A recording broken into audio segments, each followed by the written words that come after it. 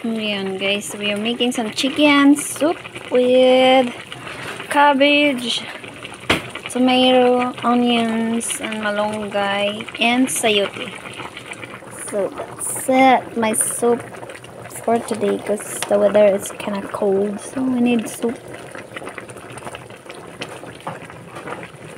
Sinibawang manok or tinola, whatever it is. Let's look at that.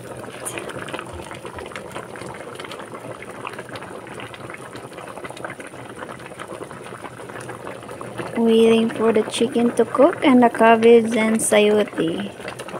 So I already put the malunggay.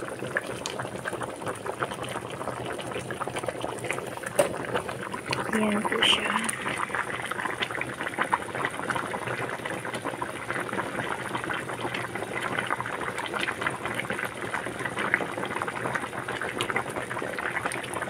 Diba? Kumukulo.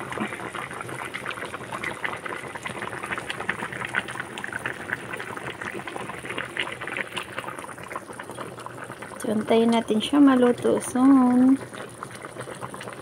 So, we can have some soup. And shout out to my members. Then, Lolito Vlog TV. Thank you, Lutz, for for being a members on my channel. And ingat palagi sa drive.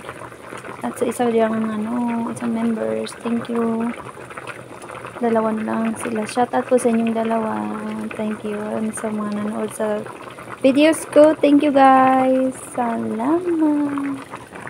Ayan, waiting po si G. Stewart na maluto yung sinabawang manok with cabbage, sayote, malunggay, and something else there.